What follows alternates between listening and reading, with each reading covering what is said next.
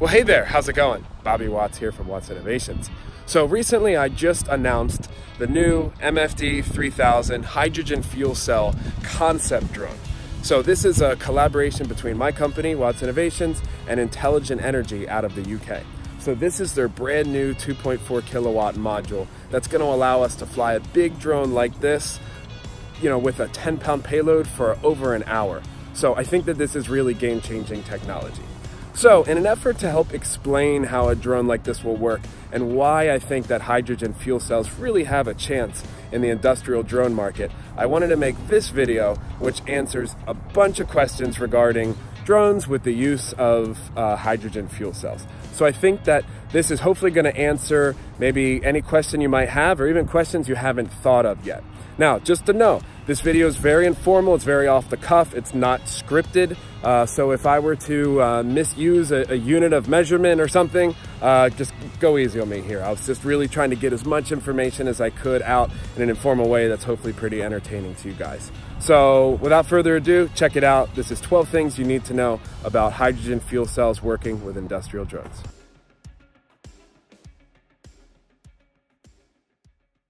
And today I am so excited to finally be revealing what I've been up to recently. And it's this. This is a concept drone. Now, this is powered with a hydrogen fuel cell. Now, let's let that sink in for a second. A hydrogen fuel cell has been around for quite a while. It's been around since like the Gemini program with NASA decades ago. But finally, fuel cells have gotten small enough and powerful enough to power an aircraft like a drone like of this size.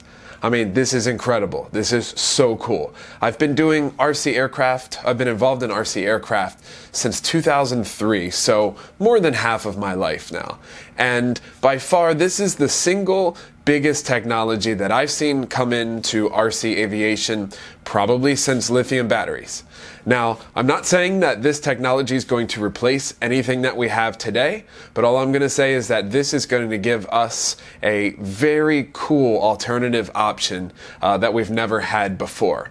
So, what I wanted to do today was just kind of uh, explain everything that I've been kind of learning in the last few months while uh, looking into this hydrogen fuel cell uh, issue. You know, is this a viable option? Will this actually solve a real life problem? And I think it will. I really think it will. Um, so when I first kind of stumbled upon the fuel cell, I had more questions than I knew what to do with. So before, I really didn't even know what a fuel cell was, and I was just digging and digging and looking through articles and videos and um, and, and everything, and have really had to teach myself a lot to figure out how it would work best with a drone and, and how to make this happen. And the awesome folks from Intelligent Energy, the manufacturer of this fuel cell, have been super helpful. So between what I've learned from them and some other guys and some articles. Hopefully, I can answer a lot of questions that you guys might have just by reading the title of, you know, this is a hydrogen fuel cell drone. So in this video, I'm going to make it a little bit long form. I just really want to make it nice and thorough to hopefully kind of explain how it works with a drone. So I've come up with 12 main topics that I want to address in this video, and I'm sure there will be more. So if you have any questions or whatever, you can always email me or hit me up on uh, the social media platforms, and I can hopefully explain them uh, further in detail. Also, I'll be at the AUVSI show next week in Chicago, and hopefully we'll be doing a lot more video and maybe some Q&A and that kind of thing uh, for social media content as well. So, before I get into this video, I want to throw out two main caveats before I even begin. So, number one, uh, when I talk about drones with a fuel cell, I'm mainly referring to industrial, professional, heavier, bigger drones. I'm not really referring to any drone that you can hold into your, in your hand or something small like a Mavic or Phantom or a Spark or something. What I'm referring to is larger drones that are carrying payloads of, you know, I don't know, 8, 10, 20, 50 pounds and beyond. And for drones that are out in the workforce being used on professional movie sets uh, or cargo hauling or flying expensive LiDAR sensors or cameras or whatever it may be. So we're really talking about like high-end professional drones. Like that's the first one mainly. And number two, I just want to throw this out that this video is going to be less about this exact setup of a fuel cell and this exact stack and this exact tank and this exact drone. This is more of a concept. How do fuel cells work uh, in drones? And once again, are they a viable alternative? So just wanted to throw those two things out before I begin. So let's get right into it.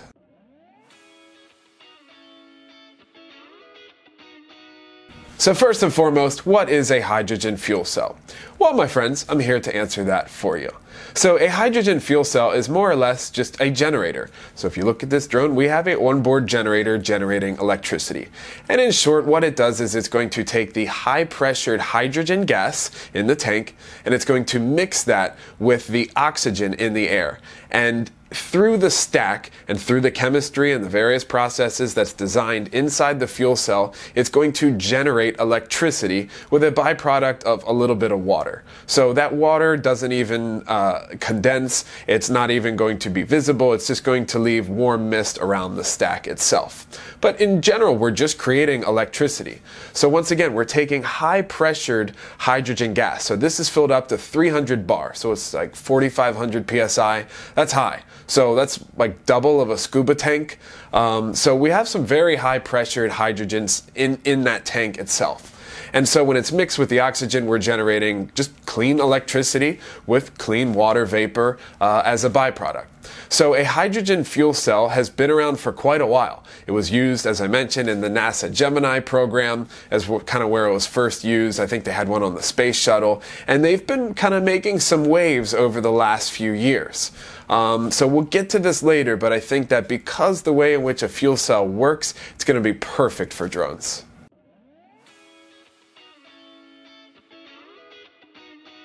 So next up, why is a drone a perfect vehicle for a hydrogen fuel cell and why maybe a car isn't? So inevitably, if you're like me, a millennial like me, we find out, oh, hydrogen fuel cell. Pop it into Google, pop it into YouTube, and what do you find? Well, in general, what I was seeing was kind of a lot of hating on hydrogen fuel cells, but mainly in the automotive market.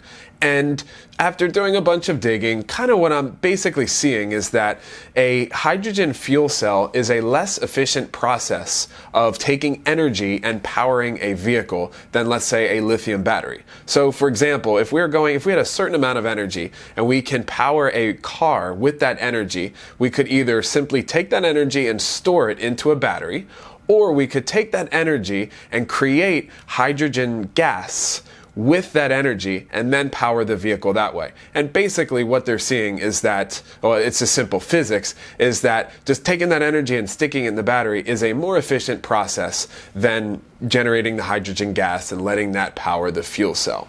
But why does it matter for a drone? Like, that's a car market, that's great. I understand that's completely different. It's a different argument with a drone. Why is it so important with a drone? Energy density. So for a given pound of our power plant, in this case a fuel cell stack and a hydrogen tank, for a given pound of this versus a given pound of a lithium battery, we're generating more electricity with the fuel cell than we are with the battery that the battery can store. So this is so important in drone world basically because of two things.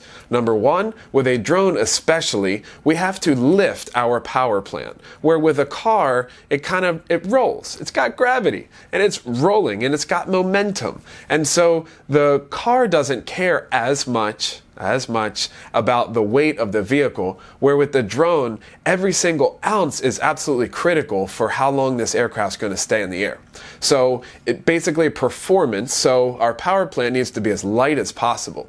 And number two, we are regulated here in the US, for example, to 55 pounds and below. So this drone, for example, in its battery form, is designed to lift about a 25 pound payload and be right at that 55 pound legal limit. Now with this fuel cell, this one in particular is a 2.4 kilowatt system. So we'll be able to get about 10 to 12 pounds of a payload with this, all it's staying at 2.4 kilowatts. So this exact drone can lift about a 10 to 12 pound payload.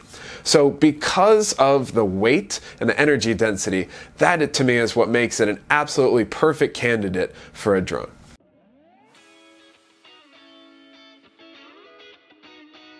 Okay, so now that we know how the fuel cell works, what are the various parts that's involved in putting it on a drone and powering a drone? Well, it's really simple actually. We have two main components. We have a stack and then we have the tank itself. So this stack in particular for this aircraft is the newly unveiled 2.4 kilowatt system by a company called Intelligent Energy out of the UK. So this is still in the prototype phase and this one is going to be released towards the end of the year, if not beginning of next year. So this stack right here, as I mentioned in the beginning of the video, is what's generating the electricity based on the oxygen and the hydrogen coming together inside the stack. So it's producing electricity. So once again, we have a onboard generator. So the stack is generating the electricity, and then we have the tank. The tank is a simple, uh, this one, for example, is a six liter tank that can hold high pressured hydrogen up to 300 bar, as I mentioned, so 4,500 psi. And so the hydrogen is stored stored within this tank. Now these tanks are really special. It has a plastic lining uh, to allow the hydrogen not to escape, uh, and then it's covered by lightweight carbon fiber and other composites, and then it's got a metal uh, outside structure. And these are uh, they drop them from 300 feet, drop tested, approved, ballistic approved. Um, it's really impressive at how much these tanks are really rated. So these tanks are made by various manufacturers, and then they have to get a certain approval for them to be allowed in the US or anywhere else in the world. But basically, the tank is just similar to a scuba tank or a propane tank or uh, oxygen tank if you're a welder or whatever it may be. It's just a, uh, a, a simple, well built tank to hold in this high pressured hydrogen gas. So between the tank and the stack itself, that's really all you need in order to make a hydrogen fuel cell power a drone.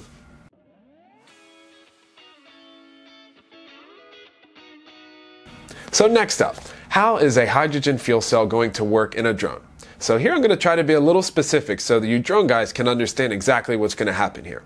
So the coolest part about it and the reason that I think fuel cells are definitely a winner is because it can be retrofitted, if you will, onto a standard electric aircraft, onto a standard drone.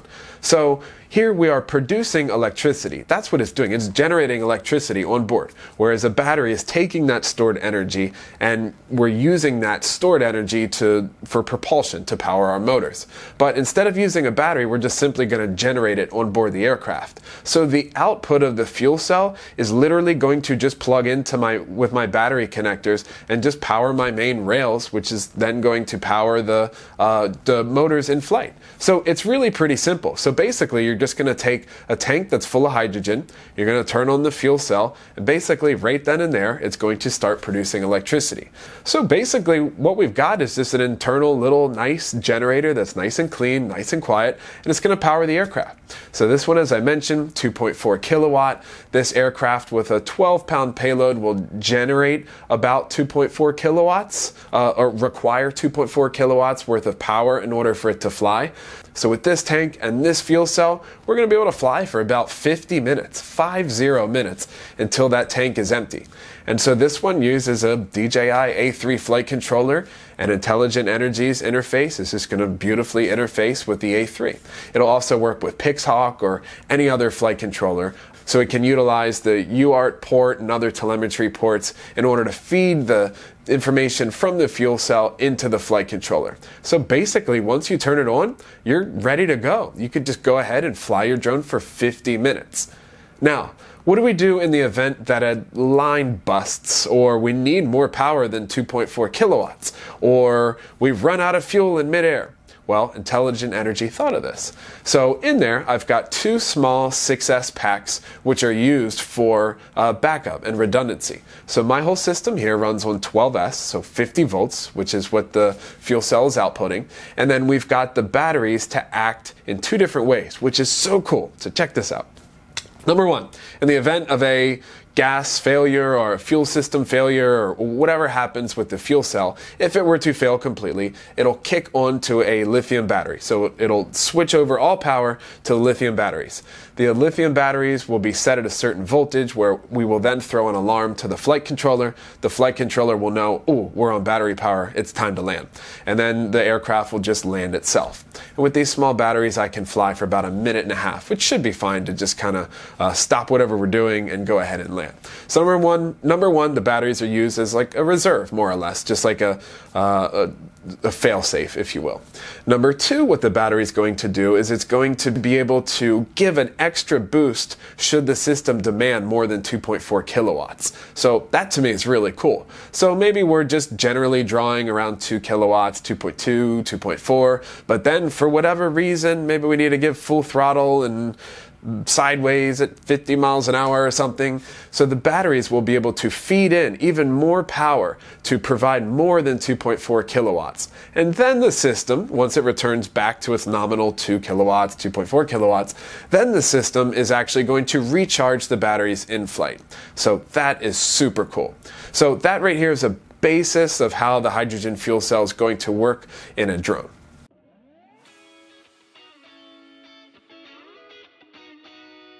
Next up, energy density and flight time. This is huge. This is the whole game right here. So let's just jump right into it. So with energy density, if you have like a hydrogen fuel cell, for example, if we have one pound of a hydrogen fuel cell versus one pound of a lithium battery, how's that going to stack up? Which one is the better option? Well, let me give you some numbers and you can decide for yourself. So let's take a look at this exact drone here. So this is the MFD 3000, the hydrogen fuel cell edition, the concept version right here that we've got. So this exact setup right here is a 2.4 kilowatt system. So this is capable of providing 2.4 kilowatts of power to the aircraft. Now, this is a six liter hydrogen tank on top. So, a six liter hydrogen tank will give us 2.2 kilowatt hours worth of power over time. So, that means that if this aircraft draws 2.2 kilowatts in a hover, let's say, then we can fly for an hour. Well, let's just say we're going to be pushing this right to the max of its 2.4 kilowatt uh, capability. So we're going to be flying right around 55 minutes or so. So with this setup right here, with the fuel cell, with a probably a 10 to 12 pound payload that will be pushing the fuel cell right at its max in ideal theoretical conditions, we can fly for about 55 minutes with this tank here. Okay, so now let's look at a lithium battery. How many lithium batteries do we need to get the same amount of power? So if we wanted to get uh, uh, 2.2 kilowatt hours, we would need to have a 12S 44,000 milliamp lithium battery. So that we would take like a 6S 22000. So we would need four of them. So we'd put two of them in series, take the other two, put them in series. We'd have a two piece setup. So that would give us 12S 44,000. And the weight of that would be around 22 pounds for those in batteries.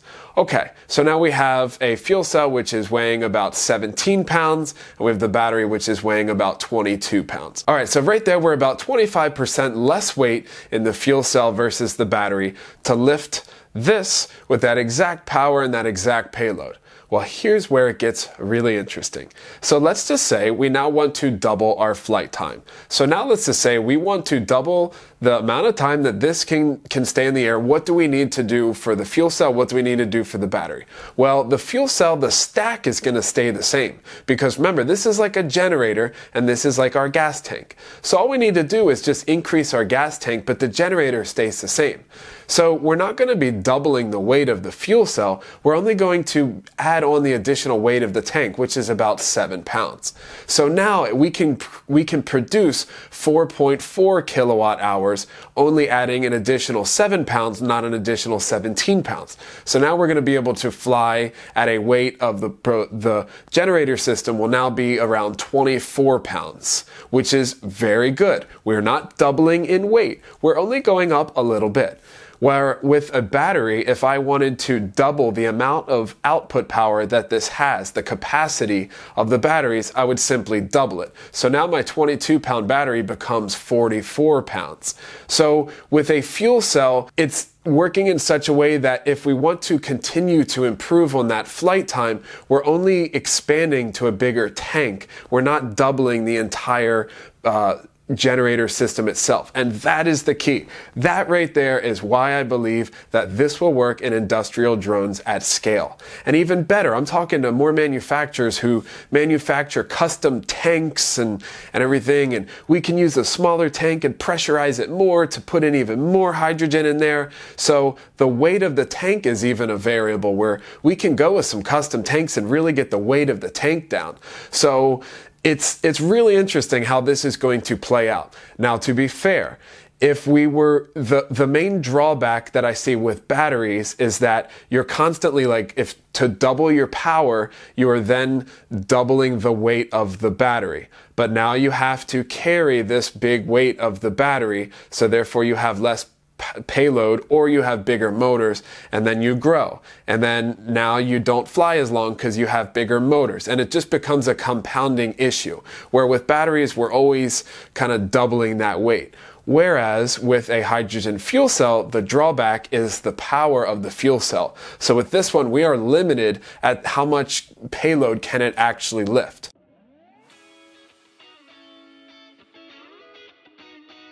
Next up, why hydrogen and why not any other hybrid form?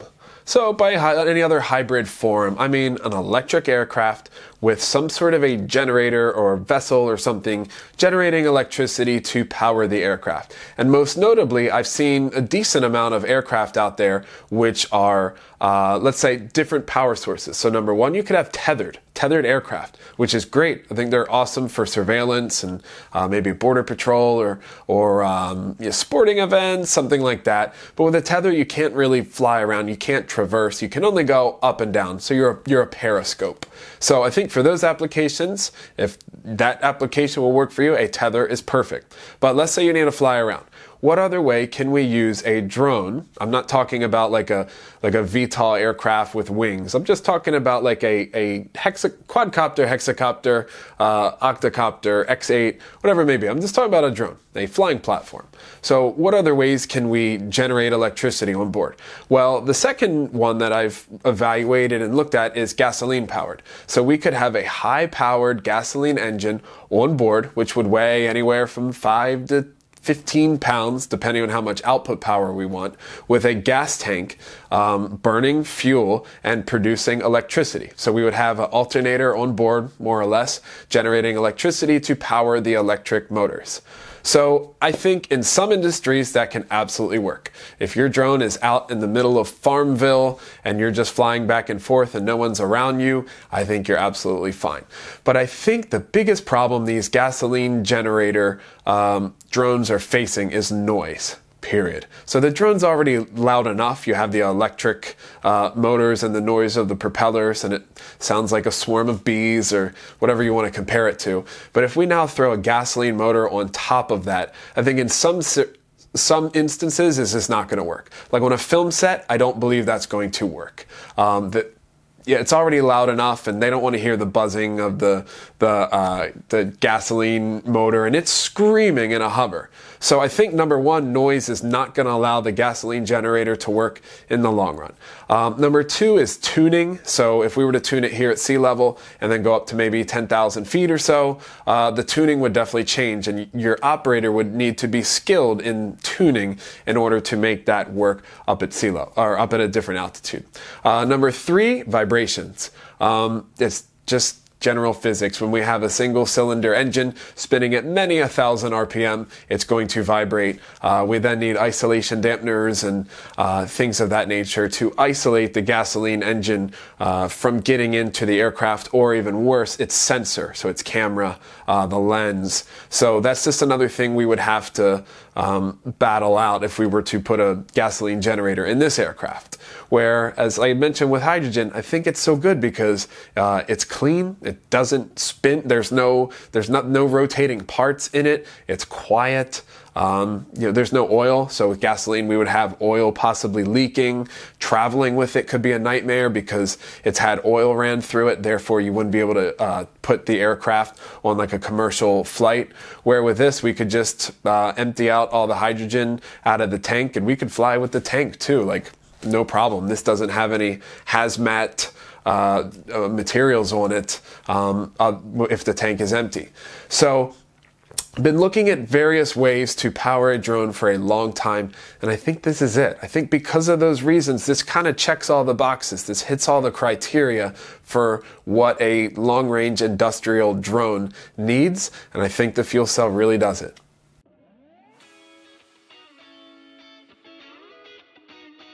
So, the next question that's probably on your mind how the heck do I fill up the tank? Well, we've got a few different options for you. So let's say you're a customer, you're interested in flying a uh, 10 pound payload for an hour uh, using the MFD 3000 Fuel Cell Edition. So, once again, a few different options for you in the USA. Uh, in any other country, you might need to look. This could change a little bit for you depending on what kind of tanks you can get and transport regulations. So uh, just take a look uh, based on where you live. But in the US, here's what I can offer you.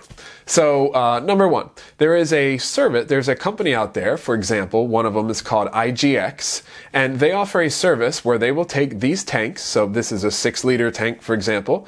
Uh, you could buy multiple six liter tanks for a few hundred bucks a pop, and then you can send back the tanks to them, and they will, you send them the empties, and they will send you fully filled up tanks ready to go. So, if you had a shoot and you had maybe five tanks, 10, 10 tanks, then you would just get them back and you would have all your tanks filled up, ready to go. And they would send that probably by FedEx ground, and um, you would get those in a few days. So that's one option for you if you want nothing to do with it at all. Uh, the next method, which would probably be my preferred method, would just be to simply get a uh, refueling station or a compressor, compressor station. Next, you would just have to call an industrial gas supply company. So if you were a welder and needed oxygen and acetylene for welding, or if you had a, a warehouse and you had a, a forklift that ran off of a propane tank, you know, these industrial gas supply companies just deliver gases to business. And this is really no different. Or you can simply call up like an Airgas or Praxair and just tell them you want gas hydrogen. And more than likely they have it. Um, so I called a few of the suppliers in the area here, and they've got tanks where in a service where they would literally just drop tanks off at a business address at a warehouse, and then you could take that tank, that big tank, and then fill your own tanks. And I think that that would probably make the most sense. If you're going to hop into this, just being able to fill up tanks on the spot would be best for you. So, same as if you've seen them uh, refill propane tanks at the hardware store, um, it's really the same. We're just taking a gas and transferring it into this tank. Then that gas is being used to produce electricity. So, it's really pretty simple. Um, best of yet is we could take these tanks and we can put them in a proper uh, storage compartment in a vehicle, in a truck or something, and I can drive all over the US and it's not hazmat. It's not dangerous goods. It is not. So that's what really makes it easier to, to work around. So if you were to fly with this aircraft, for example, what would you do? Well, number one, you could ship tanks to yourself. Um, number two, you could call up IGX and then they could send you tanks. You could rent tanks from them for a day rate or something. So this is pretty flexible. Uh, you could get a like a K type hydrogen tank uh, delivered to your job site. And you could simply just bring your compressor and you could fill up your own tanks on the job site. So it's pretty flexible, I think. Um, it's just a, it's just as hard to deal with this as it is with batteries. Um, let's face it. I mean, lithium batteries are really difficult to transport across the country if you have a shoot somewhere. So I, I do not see that as a really big issue. Uh, it's just a matter of learning it, learning the process, and making it happen.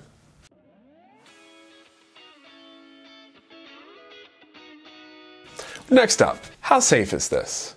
Well, it's all relative, right? I mean, we are flying a drone with large 23 inch spinning propellers, so that does fly very expensive things uh, around through the sky. So I guess safety is all relative. I mean, we're not working with bubble wrap here. This is a this is a complex mechanical machine.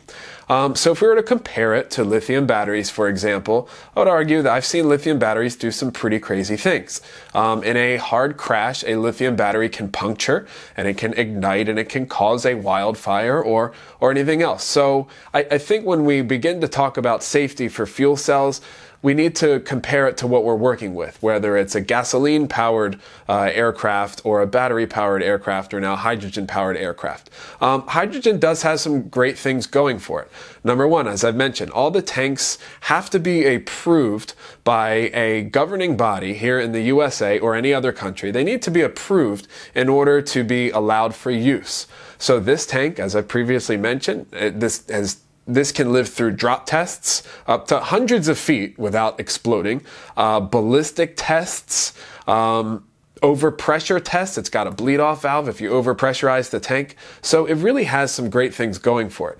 Another great thing that hydrogen has going for it is that it's lighter than air. So if hydrogen were to ever leak or escape, it's going to rise. It's not going to drop like propane will and, and gather in a central spot. It's going to rise and just vent to the atmosphere.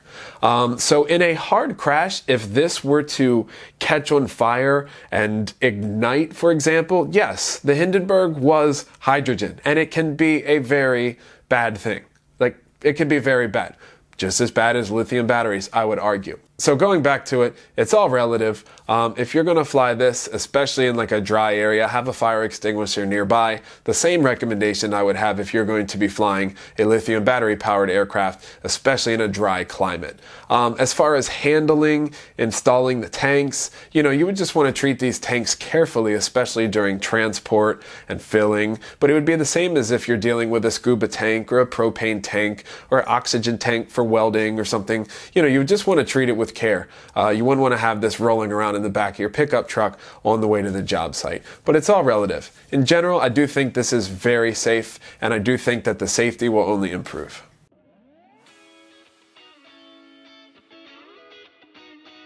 Next up is the workflow. What would the workflow be for a job? Let's say I get hired for a job and I want to fly my fuel cell drone. What's the workflow going to be like? Well, number one, as we mentioned, you got to obtain your tanks. So let's say we're going on a movie set or we have a, um, a job to take a LiDAR sensor and scan miles and miles of a particular area. So number one, we want to make sure that we've got enough tanks or we have the ability to refill tanks there on the spot. So that's going to be critical. Just in the same way, if you have lithium batteries and you need to arrange your charger setups and the, how many batteries you have and everything, it's going to take the same amount of calculation calculations and it, you only knew you know that. If you know you as a professional drone service provider if you know how many flights you have to do that day uh, you should be ready for that. So number one figure out how much um, how much hydrogen you need, uh, how many tanks you need, and if you can refill there on the spot. But other than that, it's real simple. So pretty much you're going to go ahead and you're going to fly, and once your tank is empty, you're going to come back and land. And number one, you could refill that tank within just a few minutes. Honestly, just refill, go right back up, fly for another hour, or you would simply swap the tank out and then refill that other tank uh, as the, uh, the second tank is flying. So it's pretty simple. It's really nothing too complicated. And that way we are like a battery where we can just simply swap out and just get multiple flights in a day without really much stop. Um, other than that, just you'd have to worry about just handling your, your charging setup your, your tank charging, your tank filling setup, and you have to worry about what you're going to do with your empty tanks and your full tanks. But um, I don't see this. You're, you're not going to be charging in the hotel anymore on a job site. This, you can fill these tanks up in just a few minutes and you're good to go. So I think this will make the on the job site a little bit easier than the lithium batteries because you won't have, be having to deal with so many lipos. So for on the job site, it's going to be pretty easy.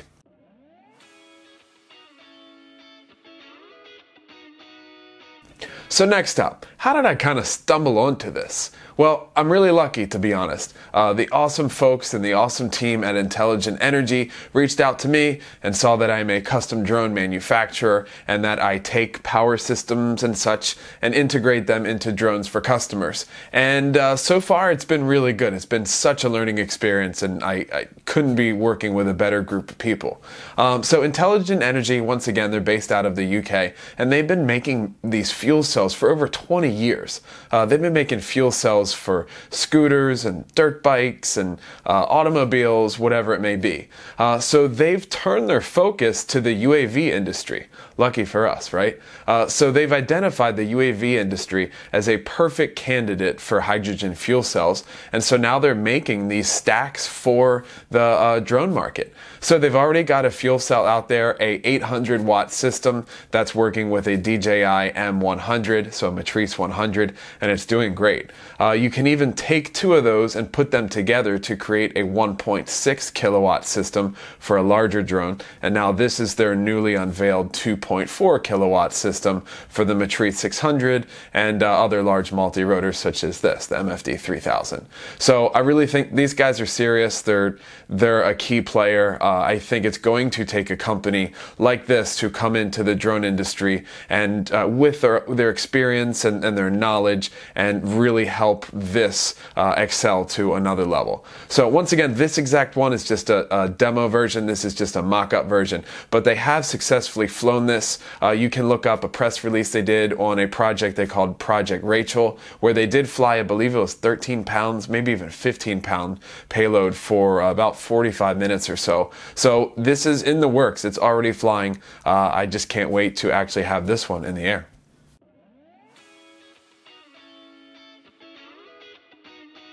So another one that you guys are probably all wondering by now, how much does this cost? Well, with any new technology, any new emerging technology, the cost is going to be a little higher until it gets mass adoption, and with economies of scale, the price can come down. So, because this is so new and such revolutionary technology, I believe the cost of a drone like this would be about two to two and a half times the cost of a drone of similar size but a battery version. But with that, I don't think that that's necessarily uh, ridiculous. So if we were to look at batteries and just maybe put a cost together of uh, airtime, a cost for airtime or a cost for batteries and the battery situation, um, you know, that flight, that flight time really comes at a valuable price. So being able to fly for an hour versus 20 minutes, well, can we put a price on that? So I think that that's definitely something to keep in mind. And then also compared to batteries, um, most of my customers are going with charging solutions that range anywhere from three to ten thousand dollars, depending on how big their outfit is. I mean, heck, some even twelve, fifteen thousand dollars just in chargers alone, and then they're spending maybe ten to fifteen thousand dollars worth of lithium batteries. So these professional drone service companies are really uh, buying into the infrastructure that allows them to fly all day long with batteries and chargers. So, at a higher cost of a fuel cell with longer flight time, it really makes sense. I don't think it's totally unreasonable right now. It's just at that point where the companies who understand its value are going to hop in early, I have a feeling. And then maybe once the price comes down, um, maybe at that point more can begin to uh, experiment and get a drone that's hydrogen fuel cell powered. So that's that's just my guess. Now, when it comes to the cost per flight of the hydrogen itself, uh, let's look at the various scenarios. So, if we look at the tank refilling service, like a company like Airgas offers, um, I would guess it's going to be about maybe 30 to 35 bucks for a tank like this to get it filled up. Then the shipping cost and hazmat fees and such. But I think you'd end up being maybe like 30, 35 dollars a flight, which I think is pretty costly. But the barrier to entry is hardly non-existent. You don't need to buy any other tools. You can just simply receive filled hydrogen tanks and send away your empties. So that's definitely one thing you can consider. Another way you can look at it, and the method that I would probably go myself if I was a professional uh, drone service provider, is getting a, uh, a, filling station myself. So where I can order uh, uh like a K tank, a K type tank from an industrial gas supply company, and then I can just fill up my tanks. And from the calls I've made and running some basic numbers, it seems to me like it's going to cost about maybe uh, six to ten dollars per flight if I fill up my own tanks. So that's like an hour flight with a six liter tank. And getting that K type tank in will be anywhere from 40 to uh, $70 depending on how many tanks I'm getting in at a time. So as I made the reference before, if I'm a welder or if I have a, a propane powered um, forklift in the warehouse, I'm getting in all sorts of gases anyway. So bringing in hydrogen isn't that unreasonable. Um, so then it comes to the generator system you need itself, or the compressor, or the pump that you need to take and pressurize from like a K tank, like a big tank you know, five feet tall, nine inches in diameter. So you're going to need a pump that's going to be able to take the hydrogen from the low pressure K tank and fill it up to that 300 bar for the actual flight tank. And a pump like that seems like it's going to cost around 10,000 bucks. Uh, once again, you can evaluate that cost with like a battery charging station, and it's not completely unreasonable. I think it's pretty fair. So really, that's it. So you've got the cost of the tank, the cost of the fuel cell, and then the cost to get them filled. So I think in general, at scale, once you're going, you're going to be anywhere from six to 10 bucks a flight for the hydrogen itself, and then two to two and a half times the cost of a battery powered drone to get into a hydrogen fuel cell powered drone. So not that unreasonable, especially in the early days.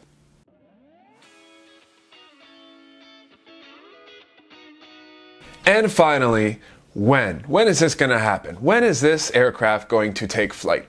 So, from what I'm hearing from Intelligent Energy, this 2.4 module is going to be available towards the end of this year and the beginning of next year, so the beginning of 2020. Um, so, I would certainly hope that just as soon as these are released, I can get one airborne and hopefully get some flight time on it and begin evaluating it and see how it actually does work. Maybe make some more informative videos to help you guys out if you're in the market for a long range, uh, heavy lifting drone. Um, you, you know, you can see what you're going to be getting into. So I would expect beginning of next year, we're really going to start to see these roll out. Um, as I said, these guys are already producing hydrogen fuel cells for the drone market. So they've done it. It's not their first product. They certainly know how to do it. So I, I don't expect this to be a huge delay and because of R&D and everything. They've already proved it. It's going to work. So I think it's really going to be great. I just can't wait to have one in hand and actually see it fly in person. And so there we have it. That is a complete rundown of a hydrogen fuel cell powered drone as it stands right now here in the uh, second quarter of 2019. So if you made it this far, congrats. Um, if you're like me, you probably have more questions than anything at this point. Uh, when I first heard of hydrogen fuel cell powered drones, I didn't even know the questions to ask and the more that I learned, the more questions that I had. So I hope that this helped kind of get you in the mindset to maybe uh, ask some more of those questions or begin to think of the workflow and how this could possibly help you in your business. Um, so once again, this is coming towards the end of this year, beginning of next year. But there's one more cool thing that I did not mention that is possibly the coolest aspect of this hydrogen fuel cell. So, as I mentioned previously, Intelligent Energy has a 800 watt system that you can put together with another one to create 1.6 kilowatts. Well, they did it for this one too. So this is a 2.4 kilowatt system. I can take another one of these, put it with an additional 2.4 kilowatt system, and I can make a 4.8 kilowatt system. To give you an idea, my MFD 5000 heavy lift drone, we could lift like 30 pounds with that with that available power. Now we'd be overweight, we would require a, overweight waiver, but that would allow us to fly full-blown movie cameras for an hour. That changes the game right there. That changes the game. This is game changing. That's why I'm so excited about this. I think that this is just the the tip of the iceberg. So many cool things are going to come of this technology. I firmly believe it. Um, that I really just can't wait to see it happen. Um, so thank you guys for watching. So once again, if you have any questions at all and think that this might be a good solution for you or your business, uh, feel free to hit me up. I'd be happy to answer any questions that I can. Um, you can email me. You can hit me up on all the social channels. Uh, go to my website, wattsinnovations.com, and you can check it out. Uh, also, intelligentenergy.com. You can see a lot more information there on the fuel cell and what they've got going on. So yeah, I think this is just incredible technology. We're just at the beginning and uh, can't wait to see where it goes.